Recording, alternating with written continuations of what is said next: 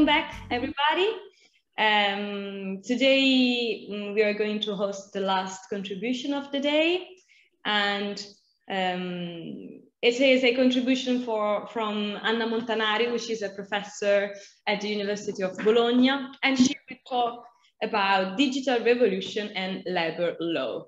Um, Professor Montanari will uh, expose the contribution in Italian, and I do um, constantly a summary, okay, every, I don't know, minutes of every top minutes of the of the contribution. So also for the question time, feel free to um, drop by with any kind of question and I will translate them to Professor Montanari and also translate the answer as well.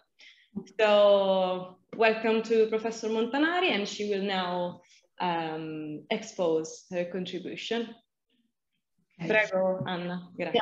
Grazie, grazie Laura, ringrazio Pier Giorgio Di Esposti che, che, ha organizzato questa interessantissima Summer School. Eh, mi scuso fin da ora per se il mio tono di voce sarà un po' basso, ma sfortunatamente sto soffrendo di un fortissimo eh, mal di gola. Allora, ehm, durante diciamo, questo breve intervento vorrei darvi qualche spunto di carattere assolutamente generale eh, su come diciamo, la rivoluzione digitale impatta nell'ambito del diritto del lavoro italiano e in generale del diritto del lavoro. Ehm, partendo da un dato, eh, nel 1985 un famosissimo, un noto studioso di diritto del lavoro, eh, in una relazione eh, che lo stesso tenne ad un convegno nazionale sul tema della rivoluzione tecnologica, eh, diciamo in larga misura prefigurò quelle che sarebbero potuti essere diciamo, le problematiche legate all'applicazione della tecnologia nel mondo del lavoro. Parliamo del 1985. E ahimè, buona parte di quelle problematiche si stanno oggi concretizzando all'interno del mondo del lavoro. Eh, essenzialmente mh, si stanno concretizzando da un lato la crescente pressione diciamo, occupazionale dovuta alla robotica, eh, assai presente nella maggior parte dei processi produttivi. Qui ovviamente non voglio aprire il, diciamo, il tema legato alla sostituzione dell'uomo dal robot perché ormai studi abbastanza consolidati hanno, ritengono che non ci sia diciamo, questo, ehm, questo, problema di sostituzione, almeno, almeno nel breve periodo, breve brevissimo periodo. Eh, quello che in realtà la, la problematica più eh, diciamo, impellente quella legata alla precarizzazione digitale, eh, cioè la precarizzazione che dovrebbe, che coinvolge una buona parte della forza lavoro di lavoratori che sono addetti sostanzialmente a quelle che oggi vengono chiamate appunto le eh, professioni presso le piattaforme digitali. E il diritto del lavoro ovviamente che è la regolazione giuridica di quello che è il rapporto di lavoro è chiamata a una grandissima sfida, cioè quello di cercare in qualche modo di comprendere ehm, i limiti entro i quali è possibile regolare ovviamente queste forme di lavoro, queste nuove forme di lavoro, al tempo di questa quarta rivoluzione tecnologica. Il sistema è un sistema estremamente complesso, estremamente variegato, è una sfida che in realtà gli studiosi di diritto del lavoro stanno affrontando proprio da pochissimi anni. Una sfida che eh, presenta diciamo, notevoli eh, aspetti di diciamo, criticità, perché è una sfida che si pone soprattutto nei confronti di nuovi modelli imprenditoriali e il diritto del lavoro è proprio chiamato a inquadrare e regolare questi nuovi mm, modelli imprenditoriali. Um, devo dire che nell'ambito diciamo, di queste problematiche collegate appunto alla quarta rivoluzione tecnologica, a mio parere è possibile isolarne tre particolarmente rilevanti, sulle quali vorrei spendere diciamo, qualche, ehm, qualche parola. Eh, la prima problematica, quella in realtà più rilevante anche proprio da un punto di vista di eh, studi che hanno, se ne stanno occupando e se ne sono occupati negli ultimi anni, è quella legata alla qualificazione giuridica dei lavoratori digitali. Per qualificazione giuridica intendo ehm, diciamo, l'inquadramento del lavoratore digitale all'interno di quelle che sono sostanzialmente le categorie di lavoratori tutelati dalla disciplina lavoristica, e cioè il lavoratore subordinato, che per intenderci è il soggetto che è quello che ha più tutele nell'ambito del, diciamo, degli ordinamenti nazionali, sia nel nostro ordinamento italiano, ma in realtà nella maggior parte degli ordinamenti. Quindi quel lavoratore che ehm, si lega ad un datore di lavoro da un vincolo di subordinazione, fa sì che il datore di lavoro gli eh, imponga di svolgere appunto delle prestazioni di lavoro e ehm, a fronte del pagamento di una retribuzione. Eh, Accanto però al lavoratore subordinato esistono altre figure di lavoratori che ovviamente ricevono sia nel nostro ordinamento che anche nell'ordinamento diciamo, della maggior parte dei paesi del mondo una tutela considerevolmente inferiore.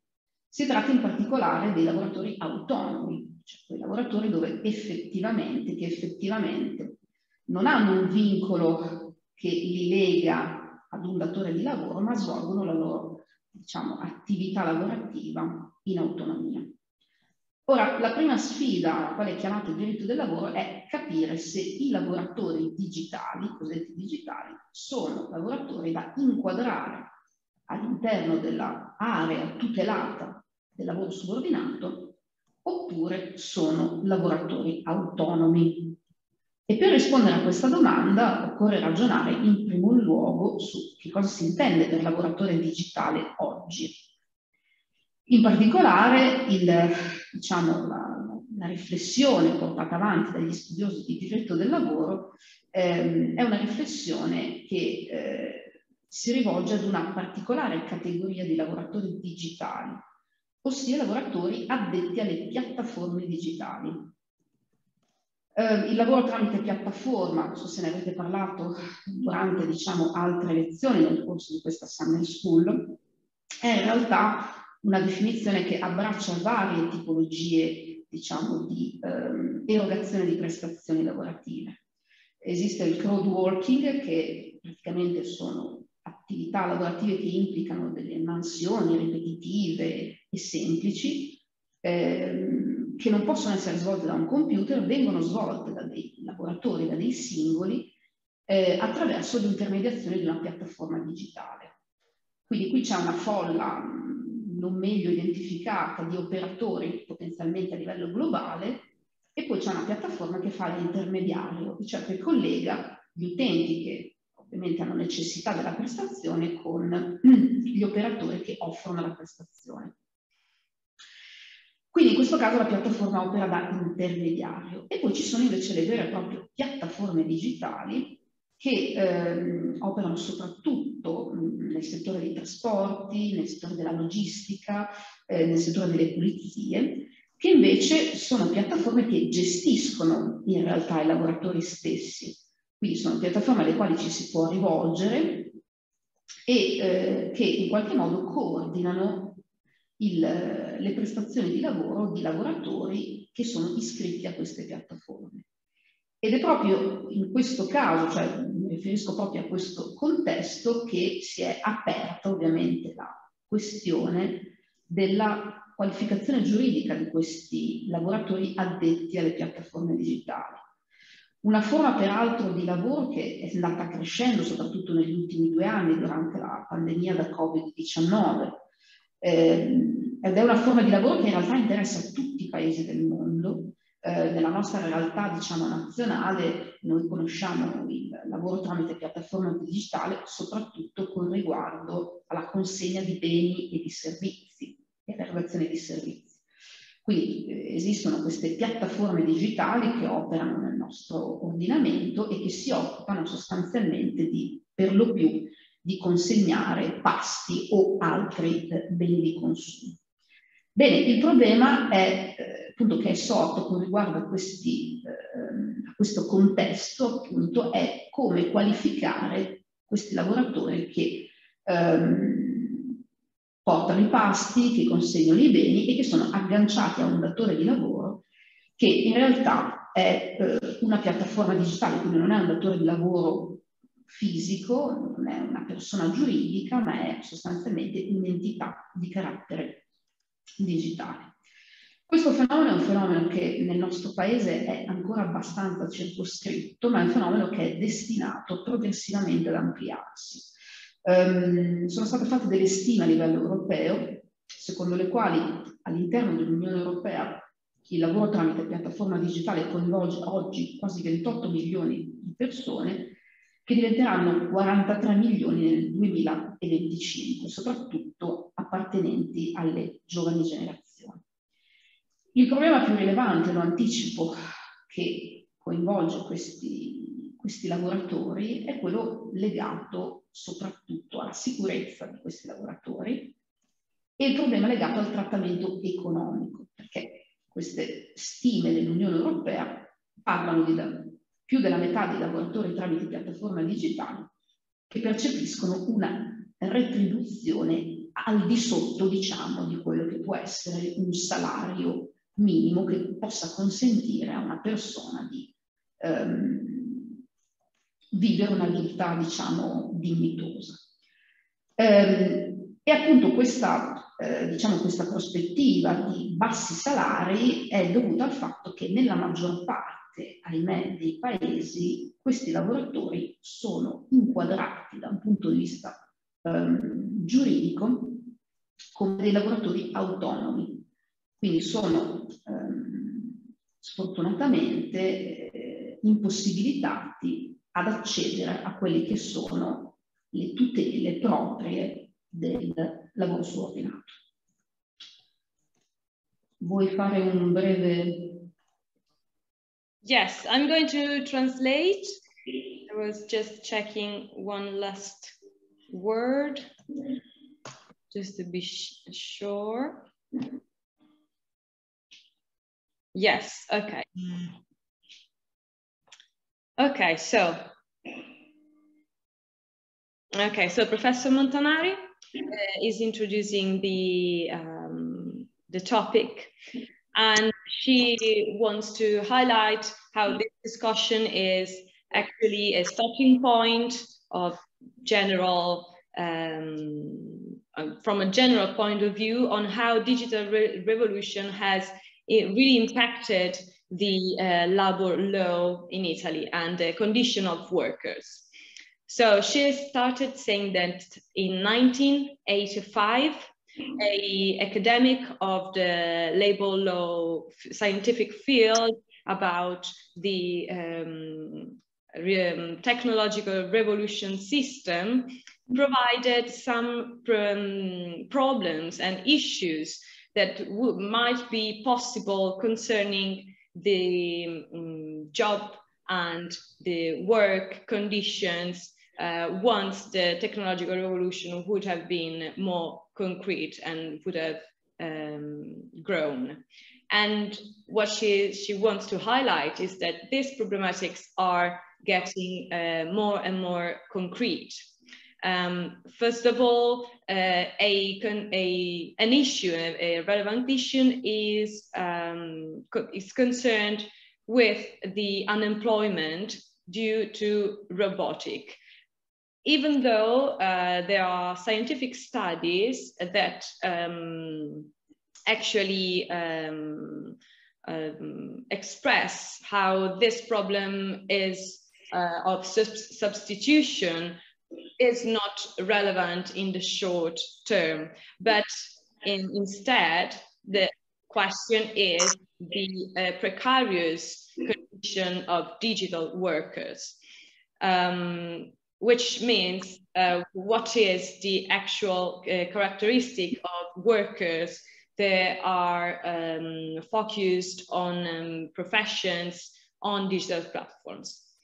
Um, so this is a great challenge for uh, labor law to be able to um, regulate and care about regulations of these forms of work during this fourth technological revolution. Um, there are many critic aspects about this challenge.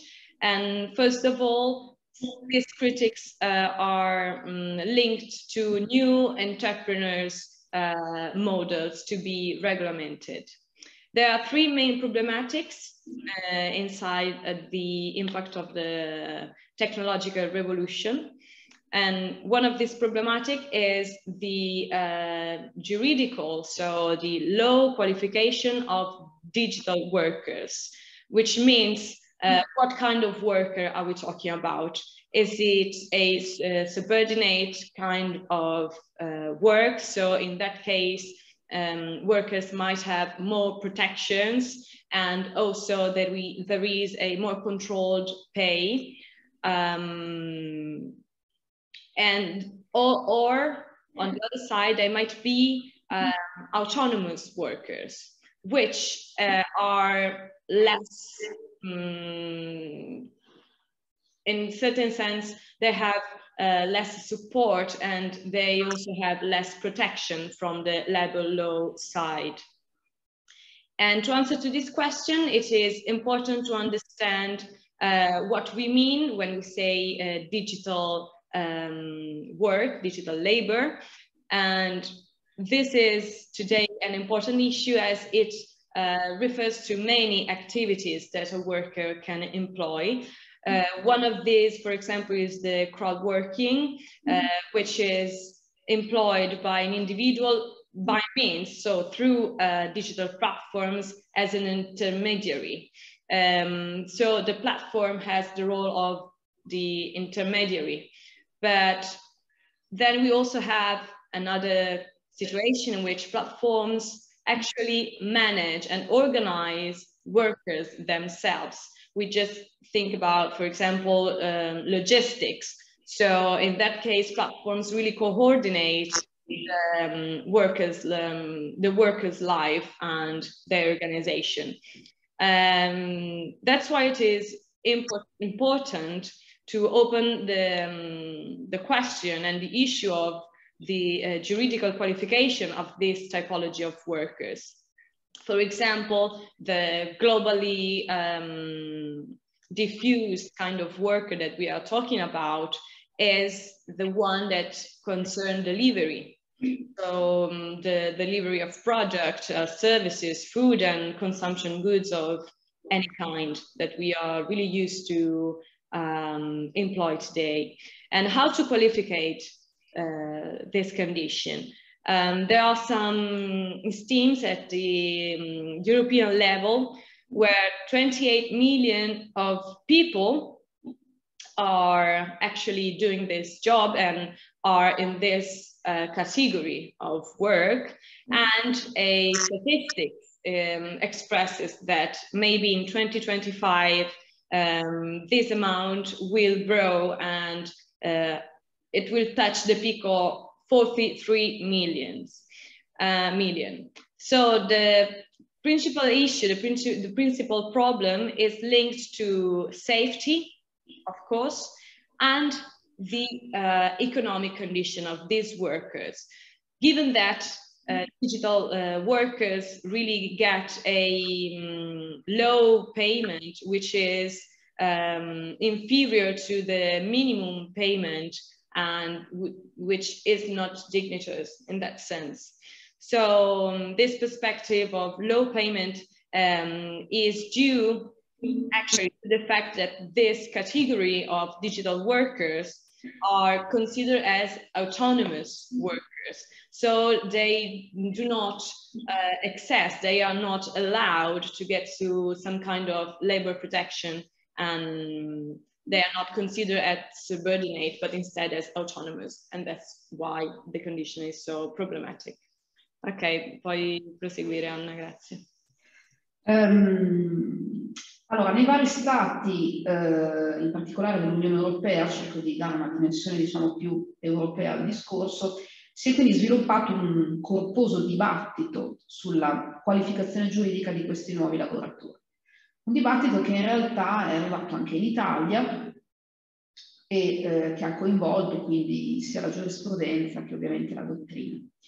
In particolare la giurisprudenza si è, diciamo, in qualche modo orientata, sono pochissime le pronunce che appunto riguardano la qualificazione giuridica dei riders, dei ciclofattorini, perché in realtà nel nostro ordinamento, come vi ho detto, il lavoro tramite piattaforma digitale è per lo più relegato alla consegna di beni e di prodotti, quindi alla posizione dei, eh, dei soggetti che appunto operano in questo, in questo specifico settore. Um, la giurisprudenza quindi eh, che si è eh, trovata ad affrontare eh, delle controversie eh, mosse dai riders nei confronti della piattaforma, in particolare la piattaforma che è stata diciamo, oggetto di queste pronunce è Fodora è libero.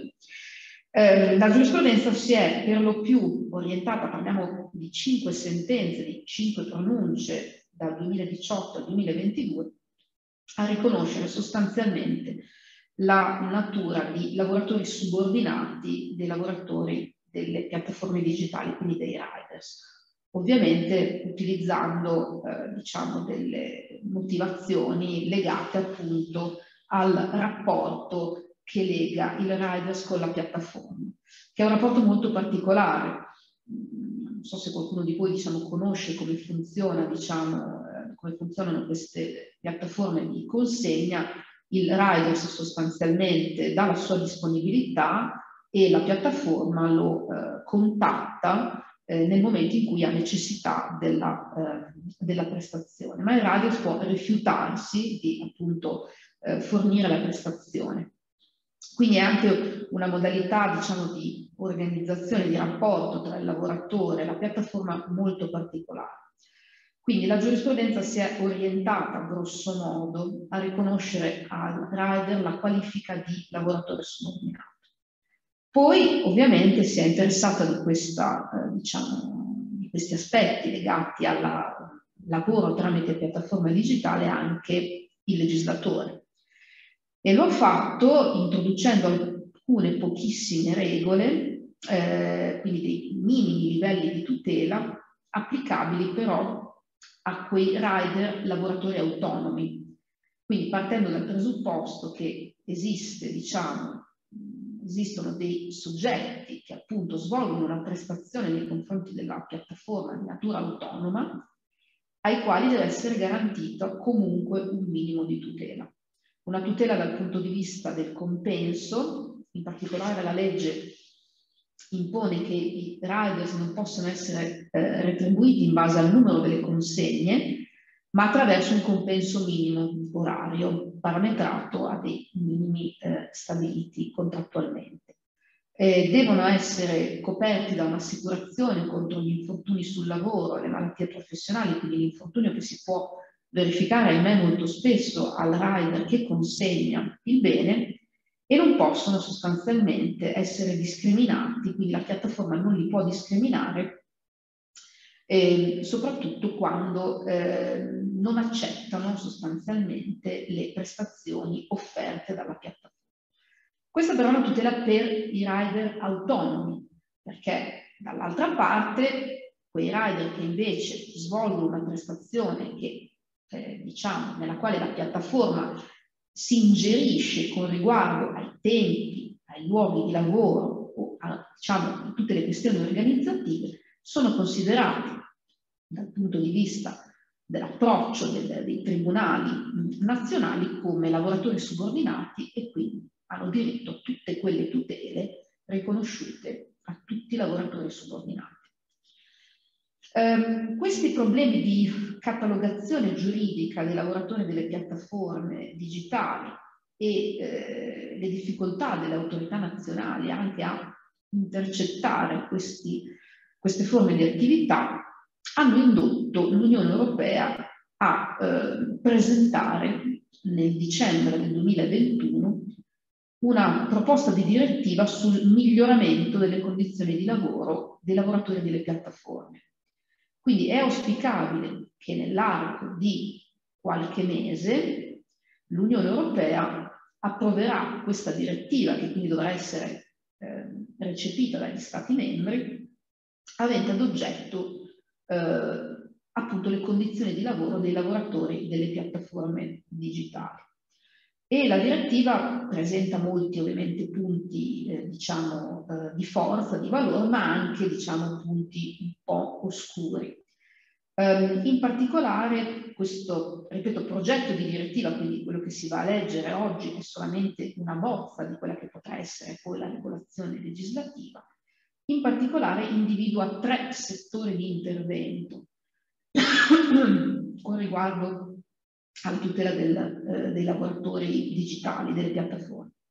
Il problema della loro qualificazione giuridica, il problema della, eh, diciamo, gestione dei rapporti di lavoro di questi lavoratori, che avviene, come vi ho già detto, attraverso la piattaforma, quindi attraverso uno strumento di tipo tecnico che utilizza ai fini, diciamo, proprio per gestire il rapporto, quelli che vengono chiamati degli algoritmi matematici. Quindi il, eh, diciamo, l'Unione Europea eh, dà conto del fatto che esiste un problema di trasparenza in merito a questo utilizzo di questi algoritmi. E, ehm, e quindi la direttiva potrebbe orientarsi anche a appunto mh, porre qualche regola con riguardo appunto alla trasparenza e alla responsabilità della gestione algoritmica dei rapporti di lavoro, ma di questo vi dirò eh, qualcosa di più dopo. E infine eh, il terzo settore di intervento di questa proposta di direttiva è legata alla questione della tracciabilità del lavoro tramite piattaforme. Cioè eh, si diciamo, evince da, come in qualche modo è organizzato a livello eh, nazionale ma anche a livello europeo il lavoro tramite piattaforma che è difficile in qualche modo andare a recuperare tutti quelli che sono gli addetti a questo settore. Quindi c'è una difficoltà di tracciabilità, di eh, verifica di quanti sono effettivamente i lavoratori tramite piattaforma e ovviamente questa difficoltà si ripercuote poi sulla difficoltà di applicare ovviamente una forma di tutela a questi lavoratori. Rispetto a questi tre settori di intervento, quello a mio parere più eh, diciamo interessante è quello legato alla qualificazione giuridica. Eh, qualificazione giuridica eh, per la quale diciamo, l'Unione Europea all'interno di questa proposta di direttiva eh, propone di eh, introdurre una sorta di presunzione legale. Una presunzione legale significa un sistema in base al quale se esistono determinati elementi all'interno del rapporto tra il lavoratore e la piattaforma si può presumere che quel rapporto sia un rapporto di lavoro subordinato. E questi elementi sono elementi legati, per esempio, al compenso del lavoratore, eh, sono legati, per esempio, alla supervisione effettuata dalla piattaforma rispetto al lavoro del lavoratore, ehm, ha l'obbligo di rispettare da parte del eh, lavoratore della piattaforma di rispettare delle regole vincolanti. Quindi tutto si gioca in realtà su com'è organizzato il lavoro all'interno della eh, piattaforma digitale. Poi c'è una norma molto importante che eh, prevede il diritto eh, dei lavoratori e dei loro rappresentanti sindacali di conoscere il funzionamento degli algoritmi che governano la piattaforma, l'applicazione poi di alcune misure in tema di eh, salute e sicurezza dei lavoratori tramite piattaforme digitali e infine la possibilità paventata all'interno di questa proposta di direttiva di ehm, eliminare delle clausole legate sostanzialmente alla portabilità della, eh, del rating reputazionale del lavoratore che passa attraverso più ehm, piattaforme digitali. Quindi questa proposta di direttiva in realtà apre una prospettiva nuova, cioè apre la prospettiva che logicamente eh, ci possa essere in qualche modo un intervento a livello europeo appunto dedicato a questi lavoratori tramite eh, piattaforme digitali.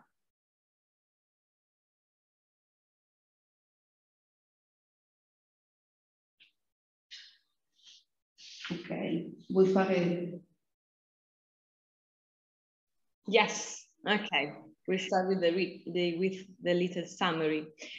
Okay, so um, the last thing we've been said uh, is about the perspective of low payments and so the um, qualification of these workers as subordinate or autonomous.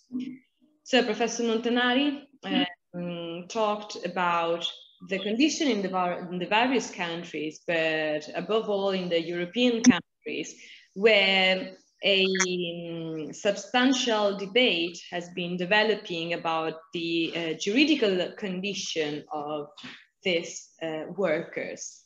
So um, the juridic offices uh, have faced the controversies that riders uh, wanted to highlight and um, most of the time it has been oriented to recognize substantially the subordinate nature of riders um, by means of motivations that link riders to their platforms.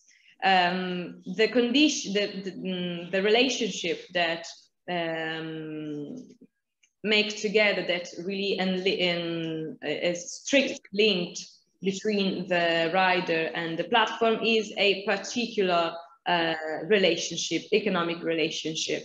So um, as we might know, riders give their availability uh, to the platforms to work and the platforms ask for the service and the rider can decide whether to uh, accept or refuse that uh, book or that, that delivery. So it is a really particular kind of um, working relation. So um, the, the, jurisdiction uh, found itself to recognize the subordinate condition of these workers. And just as the legislator had to apply some news. So for example, there are uh, subjects that apply this, uh, um, they perform uh, these activities of work in an autonomous uh, way uh, with a really basic kind of protection. So with a minimum salary um, uh, ensured. Um, next to this condition, there is also the uh, insurance for damages on work, and they cannot be discriminated when they do not uh, accept some offer that the platform provide to them. And this is the kind of protection for autonomous uh, riders.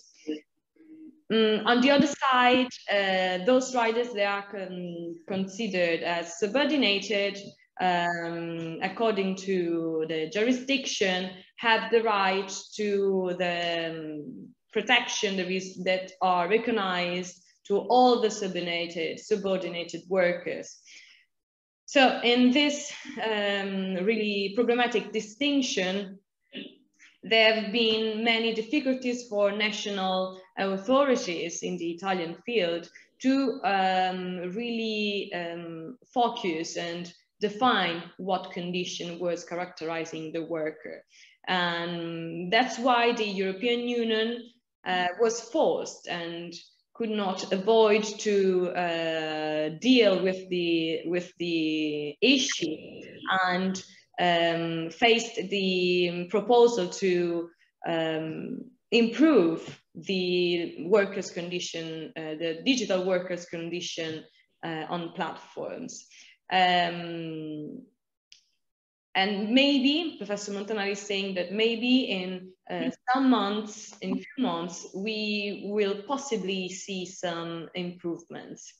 Um, this proposal um, has shown some um, points, uh, positive and um, false points, and some obscure uh, sides. There are three um, main sector of intervention. So mm-hmm. first of all, we are um, we have to deal, the, EU, EU, has to deal with the um, jurisdiction and the juridical qualification of these workers.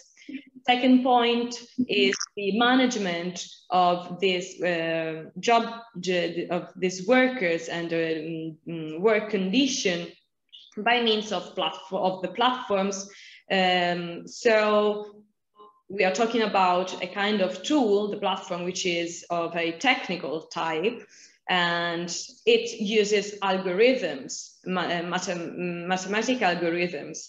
And in EU itself has um, displayed how this represents a problem um, concerning the transparency about the um, use of algorithms to uh, manage this work relationship. Third point of intervention of this EU proposal is the traceability of work by means of the platform. So on a European level, it is difficult to gather uh, the information about all the um, people working on the sector. Thus, it is difficult to verify um, how many people actually are working uh, in the platform and for the platform. And thus, it is difficult to provide protection for those who are working in it.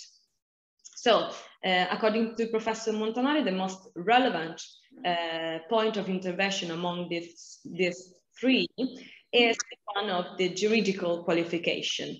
So, um, a point of action is to introduce the legal uh, presumption. So the legal, the legal presumption um, says that there are determ determinated uh, elements of work uh, relationship and you can presume it is a subordinate uh, kind uh, of work because there are these elements showing it and demonstrating it.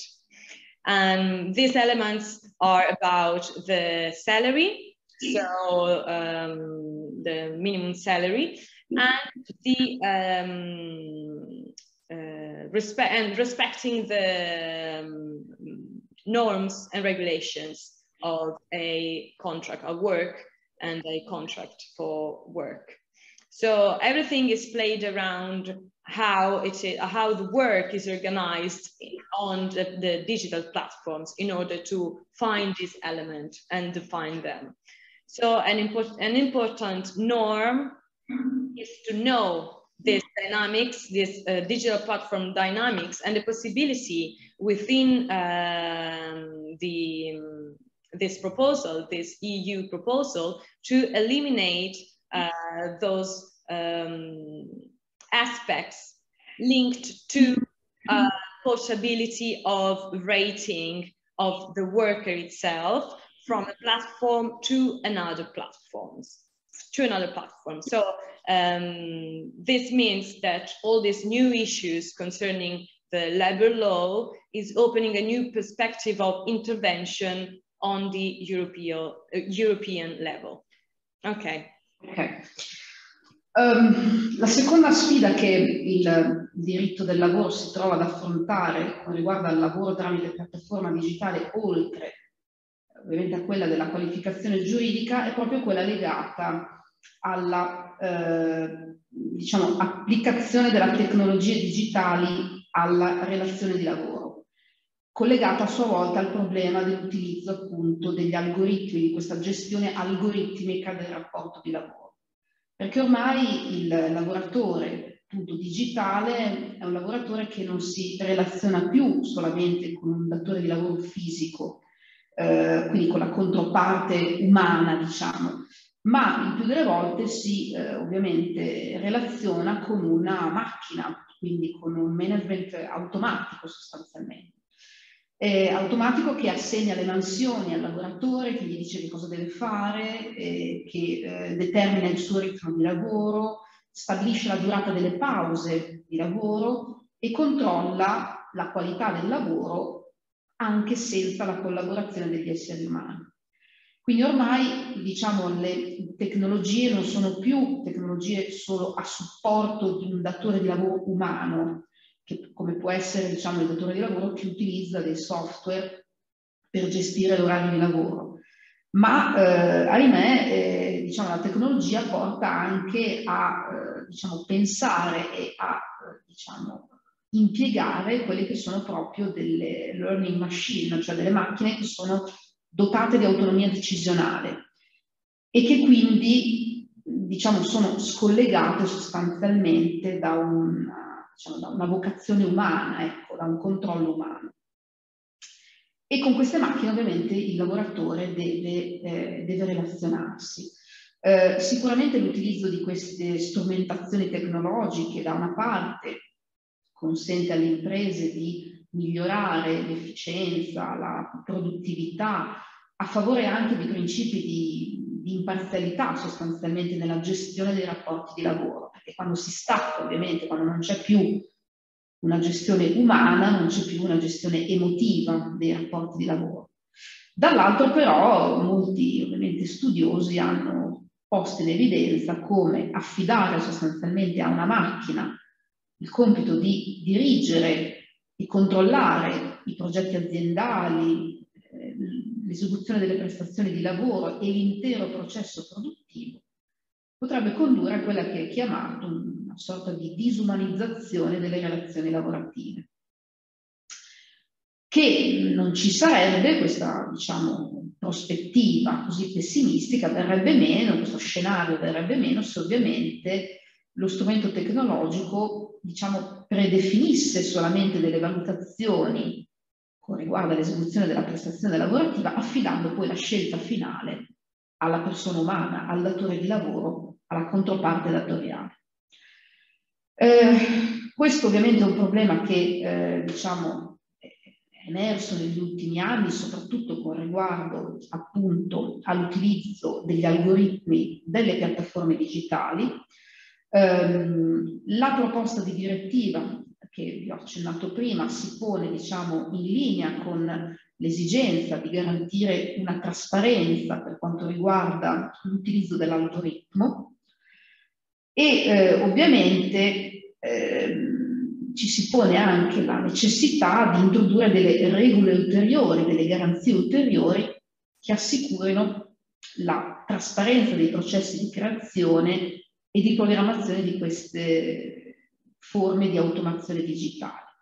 Probabilmente eh, diciamo, il quadro giuridico complessivo potrà cambiare da qui ai prossimi mesi in considerazione del fatto che a livello sempre dell'Unione Europea, perché questo è un tema che in realtà deve essere trattato a livello europeo piuttosto che a livello, diciamo, eh, meramente interno, nazionale, ehm, il quadro giuridico europeo è in continua evoluzione, soprattutto proprio con riguardo a tutta la disciplina legata alle forme di intelligenza artificiale.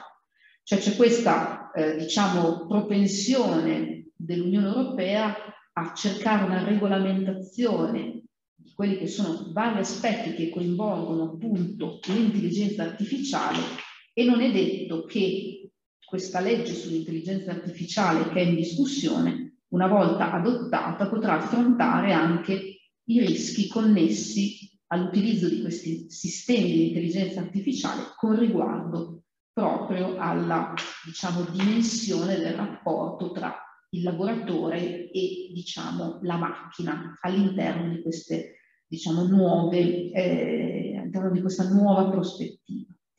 Il terzo elemento, e poi dopo chiudo, eh, diciamo di attenzione con riguardo al, appunto, sempre al rapporto in realtà tra il lavoratore e la macchina è quello determinato, diciamo, dalla, dall'applicazione del potere di controllo della macchina. Perché la macchina non è solo lo strumento che impartisce, che può impartire al lavoratore digitale degli ordini e eh, con riguardo all'esecuzione della prestazione di lavoro, con riguardo all'orario di lavoro o altro, ma la macchina può anche controllare l'operato del lavoratore. E controllare l'operato del lavoratore significa in realtà per la macchina, per, diciamo, la, la, per tutti gli strumenti in realtà dotati di intelligenza artificiale, raccogliere una enorme quantità di informazioni che riguardano il lavoratore, conservarle e trasmetterle. Questo problema, quindi quello del controllo, si lega inevitabilmente a quello della privacy del lavoratore, perché ovviamente il fatto che questo soggetto, questo, eh, questo strumento dotato di intelligenza artificiale che per sua stessa natura può funzionare solo attraverso un numero spropositato di informazioni, perché l'intelligenza artificiale si basa in realtà sull'unione e la, diciamo, eh, di queste informazioni, c'è, la, c'è il rischio concreto che questo strumento e l'utilizzo di questo strumento possa in qualche modo andare a ledere o eh, la dignità e la riservatezza dei lavoratori. Eh, qui il quadro, diciamo, giuridico sembra essere, diciamo, più eh, ampio, o meglio, un po' più articolato rispetto alla previsione che vi ho eh, indicato prima, perché il quadro giuridico si compone oggi, parlo sempre del livello europeo, di un regolamento europeo in materia di privacy, ehm, che è stato approvato qualche anno fa ed è entrato in vigore nel 2018, ed è proprio all'interno di questo regolamento europeo, che quindi fa parte anche della disciplina nazionale di tutti gli Stati membri dell'Unione Europea, che occorre andare a cercare in qualche modo le risposte con riguardo appunto a questo eh, difficile problema della protezione dei dati personali del lavoratore. E il regolamento contiene in verità già diversi istituti che, se sviluppati in modo coerente eh, al contesto tecnologico, possono già da subito tutelare la protezione dei dati personali del lavoratore, ma in realtà di tutti gli individui che si trovano a interfacciarsi con questi eh, strumenti dotati di intelligenza artificiale. Perché all'interno del regolamento si dà conto della, del principio di eh, esattezza e aggiornamento dei dati, del principio di minimizzazione dei dati, che impone sostanzialmente ai soggetti che trattano dati personali dell'individuo, della persona, di di utilizzarli solamente nei limiti entro i quali diciamo, questi soggetti hanno necessità di eh, adoperare queste informazioni e questi dati. E questo principio di minimizzazione è un, un principio che sicuramente potrà impedire il ricorso ovviamente ai big data per effettuare diciamo, tutte quelle operazioni non proprio chiare, non proprio trasparenti, soprattutto con riguardo agli scopi che possono riguardare ovviamente i, ehm, i soggetti tra cui i lavoratori. Quindi diciamo per concludere rispetto a queste tre problematiche che vi ho seppur brevemente tracciato, il problema della qualificazione giuridica dei lavoratori digitali sembra evolversi verso una regolamentazione di carattere europeo che poi dovrà essere implementata nei singoli Stati membri, regolamentazione che potrà anche in qualche modo andare a chiarire tutte le questioni legate appunto alla qualificazione giuridica di questi soggetti, una diciamo prospettiva mh, mm, un po' più mh, mm, fumosa, eh, un po' più sfocata rispetto appunto al complicato rapporto tra il lavoratore e il diciamo, datore di lavoro macchina. E infine la terza diciamo, problematica che sembra in realtà quella un po' più diciamo eh, una problematica meno problematica che è quella legata appunto alla tutela della privacy, della riservatezza del lavoratore digitale che sembra oggi essere eh, diciamo, affidata alle regole eh, già previste in materia di privacy dell'individuo.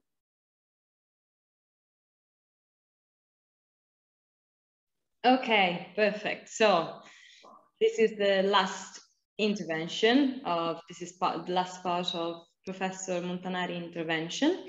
And I will translate it right now. Okay, so um, allora, eh, Anna, scusami, non ho messo un segno. L'ultima parte di cui hai parlato poco prima di quest'ultimo intervento. Era... Come? Privacy, potere di controllo. Ok. Ah, ok, sì, la seconda sfida. La terza. La seconda è quella sulla gestione datoriale, dei poteri datoriali, potere organizzativo. Ok, quindi la proposta potrebbe comunque essere... Ah, ok, sul quadro giuridico, il discorso della privacy. Yeah, il terzo elemento. Perfect. Ok, sorry, I, I lost the line. So, the third element um, of interest uh, that we've been, that Professor Montanari has been focusing on uh, is concerning the attention uh, regarded to the relationship between the platform and the worker, um, which is determined actually uh, by the power of control of the machine. So the machine is not only an instrument, a tool that gives um, the um, uh, instructions about the digital work, but it is also able to control the work, the job of the worker. And what does it mean? Controlling the job of the worker means that it is able to uh, gather and collect an enormous quantity of information related to the worker. So there is this really urgent and relevant um, discourse on privacy and also, um, yes, privacy of the worker. So um, what is the risk? The risk is that the tool, so the platform and its implementation might go uh, against the dignity and the privacy of the workers. And that's why the juridical picture is even more complicated.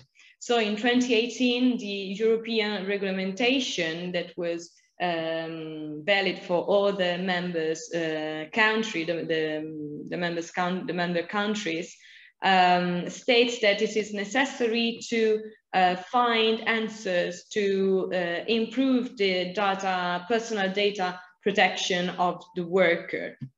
The condition that this regulation contains um, are already able to improve um, the relationship of the worker with the artificial intelligence.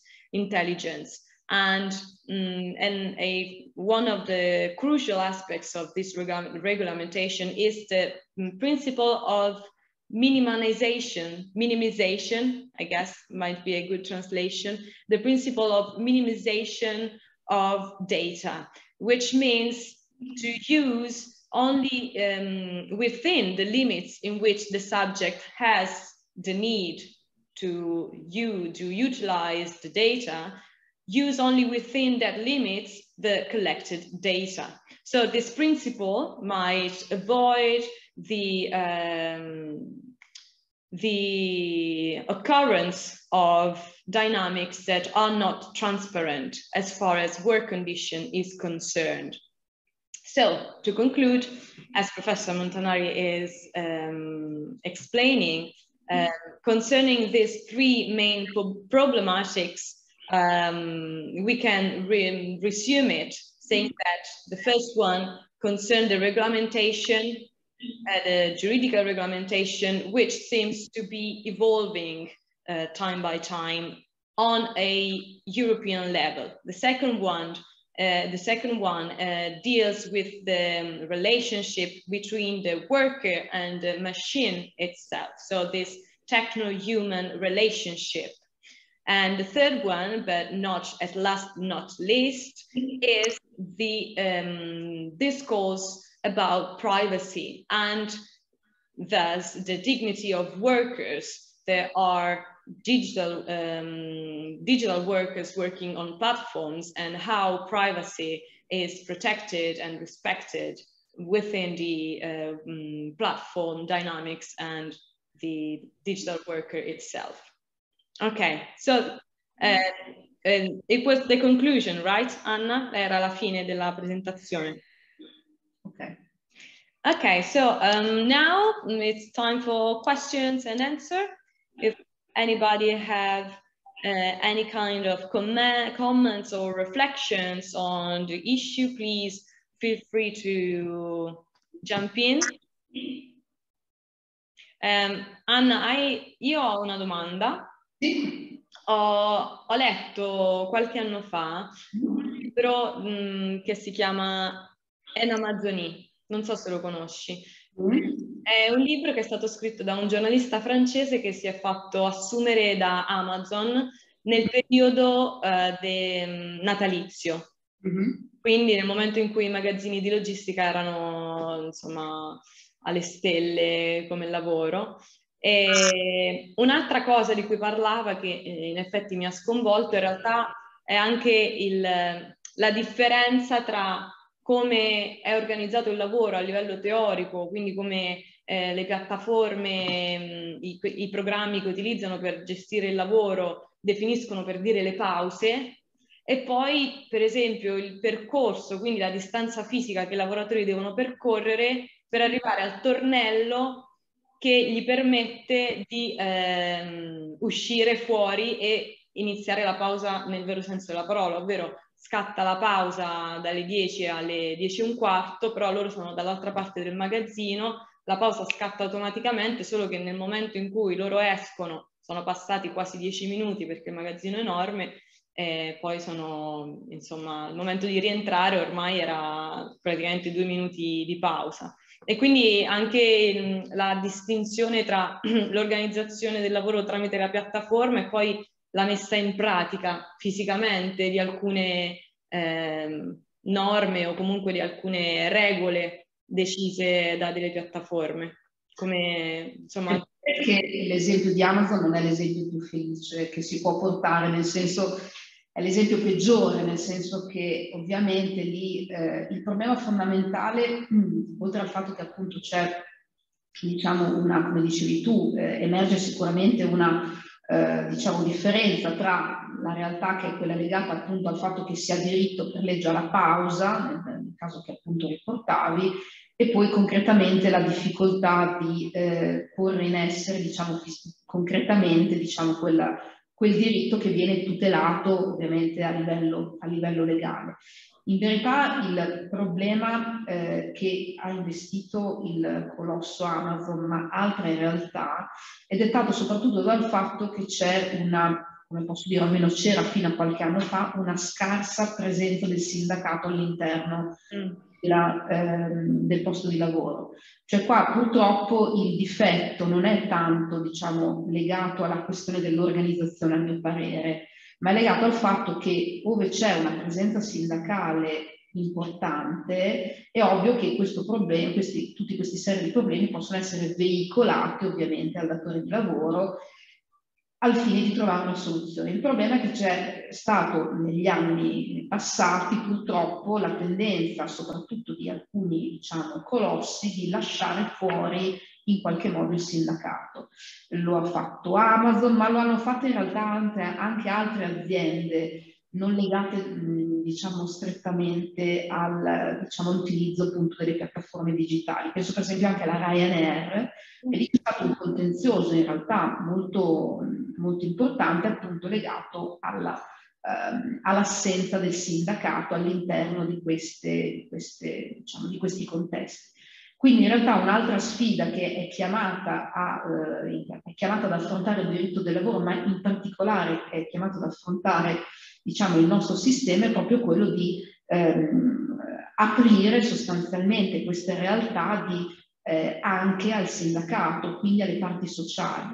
Perché questo è uno diciamo, del, degli aspetti forse più problematici legati appunto al eh, difficile rapporto tra i lavoratori e le piattaforme digitali, cioè il fatto che il sindacato purtroppo stenta in qualche modo a entrare in queste realtà, stenta a diciamo, farsi promotore di iniziative, parlo soprattutto eh, diciamo, di, eh, paesi, eh, di paesi diciamo, non dell'Italia, perché qui il sindacato comunque ha operato soprattutto con riguardo appunto alla tutela dei RAIS, perché alcune di quelle pronunce che ho citato sono eh, pronunce che appunto sono state attivate appunto su eh, volontà delle organizzazioni sindacali. Però un conto ovviamente è come è strutturato il sindacato nel nostro ordinamento, un conto è come ovviamente è strutturato all'esterno, negli altri paesi. Quindi qui c'è anche un'altra sfida alla quale chiamati, sono chiamate le organizzazioni sindacali, che è quella in qualche modo di cercare di carpire in qualche modo quelli che sono gli aspetti più, diciamo, oscuri, quelli più eh, sfocati con riguardo proprio al lavoro tramite piattaforma digitale e cercare anche di farsi in qualche modo sentire, cioè far sentire la sua voce.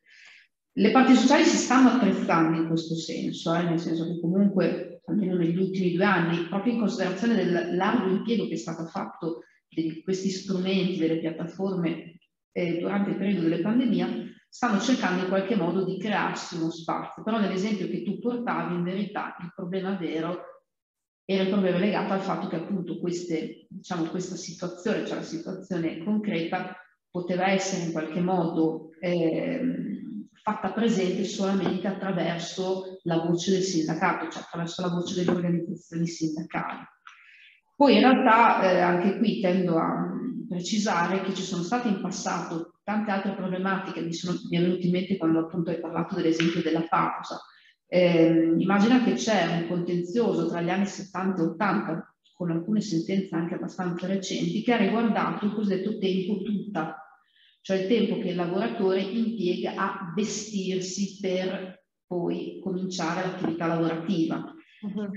Alcuni sostenevano che il tempo tutto dovesse rientrare nell'orario di lavoro, in realtà la giurisprudenza eh, ha in qualche modo si è orientata nel eh, riconoscere il tempo tutto come no, tempo di non lavoro, quindi la preparazione in realtà non rientra nel vero e proprio orario di lavoro, però immaginati che ci sono state meno 50 pronunce che si sono occupate di questo specifico aspetto, che sembra un aspetto banale, ma realtà non è un aspetto banale. Mi è, mi è venuto in mente appunto, eh, sentendo l'esempio appunto della, della, pausa giornaliera, della distanza tra il, diciamo, il lettore e il tornello per, per il badge dei lavoratori, dei lavoratori di Amazon. Quindi anche in questo caso, ripeto, in realtà ci sono state delle esperienze in passato che molte volte possono essere recuperate anche proprio per, in qualche modo, per fondare o per porre le basi poi per andare ovviamente a eh, chiedere tutele diverse. La stessa questione dei rider è una questione che il nostro ordinamento ha già affrontato a metà degli anni Ottanta con i pony express. Anche lì ci sono almeno 20 sentenze tra gli inizi degli anni 80 e fine degli anni 80 che hanno riguardato per esempio la qualificazione giuridica dei pony express che sono sempre stati ritenuti dalla giurisprudenza come dei lavoratori autonomi quindi anche lì in realtà si tratta un po' di archeologia giuridica che però ci dice che in verità tutto alla fine torna ecco quindi probabilmente anche questi schemi, questi modelli che noi oggi cerchiamo faticosamente di costruire con riguardo ai lavoratori tramite piattaforme digitali sono modelli che molte volte ci possono anche venire dal passato. Sì. Esattamente la tua domanda. Ecco. Sì, sì, grazie mille. Adesso tradotto. I will translate the question and the answer as well. E volevo anche, mi è venuta in mente un'altra cosa che aveva letto, che per quanto riguarda il sindacato e Amazon, Un'altra questione era che eh, quando c'è stato poi, vabbè, il sindacato di Amazon in realtà è stato costituito, mh, maggior, tutti eh, i sindacalisti erano impiegati di Amazon, di, di, quello stesso magazzino e quindi a volte, eh, come dire, non mh, facilitavano gli scioperi o delle azioni un, un po' più di protesta in quanto c'era anche certa, un certo timore per delle conseguenze a livello lavorativo, quindi c'era anche questo un po' di... Poi i lavoratori, i rappresentanti sindacali dell'azienda sono lavoratori dell'azienda, però in realtà gli ordinamenti hanno degli strumenti giuridici, cioè nel nostro sistema comunque, che è un sistema di tutela soprattutto della componente sindacale all'interno dei luoghi di lavoro, esistono delle, delle previsioni che in qualche modo impediscono delle ritorsioni a livello personale, a livello lavorativo, eh, dell'impresa nei confronti ovviamente di questi, di questi, soggetti. Quindi in realtà diciamo, il, diciamo, la componente o comunque la disciplina esiste, il tuo è avere la volontà concretamente poi di andare contro il padrone. Quindi anche qui si apre in verità un, un discorso che in realtà si può applicare a quasi tutte le realtà, soprattutto realtà molto grandi. Ecco. Mm-hmm. Yes, so I asked uh, Professor Montanari about an episode that uh, I read on a book of a journalist, a French journalist who uh, worked for Amazon, for the Amazon logistics in a city in uh, France during the Christmas time. So it was kind of the maximum moment of uh, work for Amazon. And he talked about the um, incredible difference between the um, like the the theoretical, the theoretical pose uh, that was ensured for the worker and the concrete moment in which the worker could join the exit of the logistic building to enjoy the pause. So it was like 10 minutes. The worker started his, um, his break. Okay, so there was the applications that saying, okay, your break has started.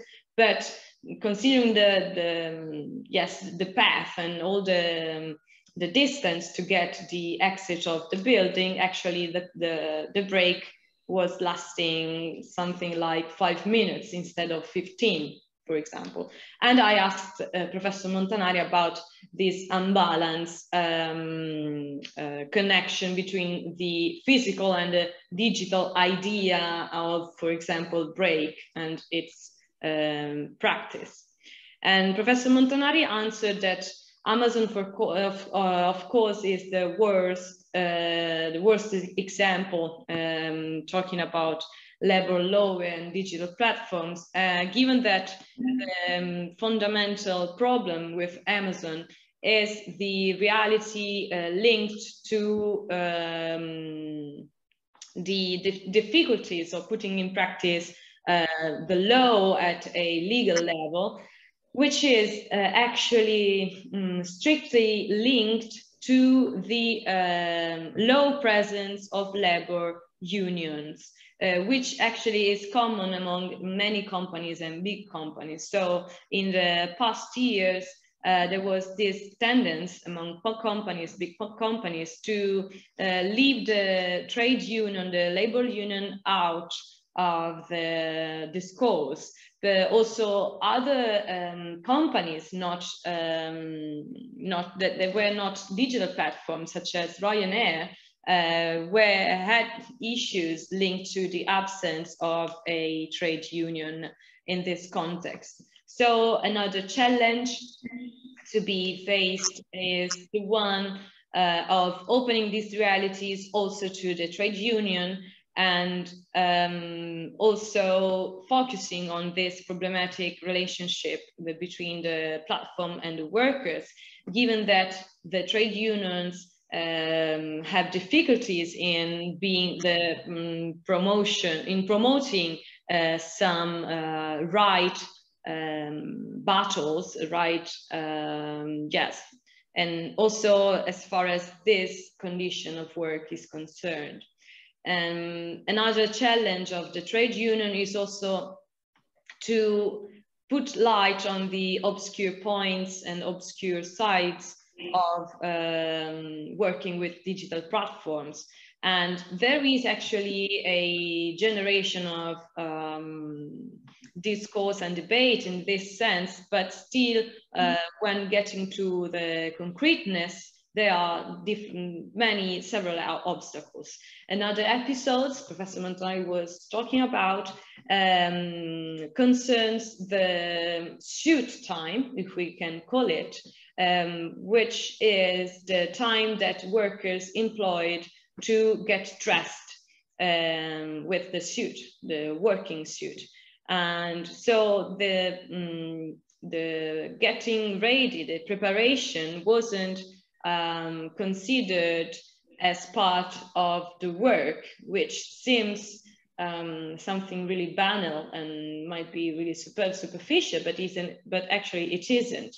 And it is the same um, discourse that interested riders. Um, th this discourse that interests also our riders. Actually, um, we can translate it uh, looking at the Pony Express issue that uh, uh, happened uh, many years ago and the, the problem on uh, juridical qualification. And so it's kind of all, all the same substance and same part of the discourse. Um, also, Professor Montanari concluded saying that maybe uh, the finding for new solutions, new models to protect and adapt to this condition, uh, working condition could be found, some solutions could be found in the past. So in past and but still similar working conditions and issues. Okay, uh, I don't know if we have any more comments or uh, questions. Otherwise, if everything is clear and fine, I don't know if you wanted to add anything, Anna, if there is something you'd like to add. Volevi aggiungere qualcosa in particolare? Direi di no. Okay. Okay, so I think we can conclude the presentation. Thank you, Anna, a lot. Uh, this contribution is recorded and we will upload it on the website. Quindi questo sarà tutto registrato e parte del nostro sito web um, come uh, parte video della Summer School. Okay, so thank you everybody again and we'll see you tomorrow for Gert Loving uh, appointment and contribution, which will be at 2 p.m. Italian time and half five Indian time. So see you tomorrow. And also, yes, then in the evening, we'll also have the pleasure to host Professor Martin Kenny at 6 p.m. Italian time and um, half past nine in the evening for uh, Indian uh, students. So thank you again to everybody, to all participants. Thank you, Professor Montanari. It was really a insightful contribution. Thank you for your, your lecture. Grazie mille. Grazie a te. Buona serata, arrivederci. Grazie di nuovo. Goodbye everybody.